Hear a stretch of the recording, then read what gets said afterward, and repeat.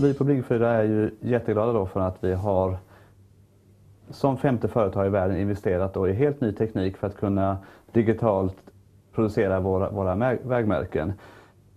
Och eh, vi har gjort den här investeringen med, med printer, med laminator och med skärmaskin. När det gäller appliceringen på ämnena så arbetar vi fortfarande med, med våra Rolls som kompletterar den här tekniken på ett eh, utmärkt sätt. Så, så, trots att det nu är den tredje produktionstekniken som, som vi har gått igenom i vår utveckling här så, så fungerar applikationsmetoden med rosorna eh, utmärkt. Och det är där vi ser de stora tidsvinsterna.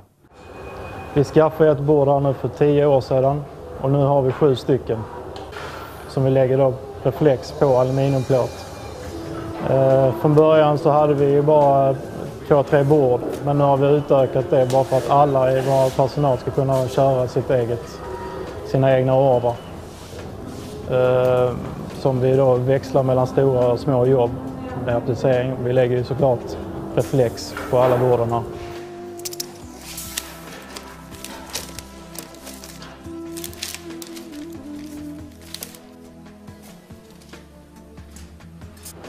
Idag så printar vi alla våra märken genom en printer som sedan lamineras i en laminator och sen går ut och skärs på ett skärbord.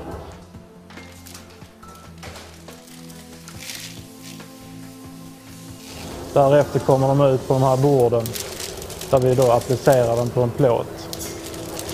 Och vi sparar ju en oerhört massa tid på detta. Eh, vi har i princip ja, mer än fördubblat vår kapacitet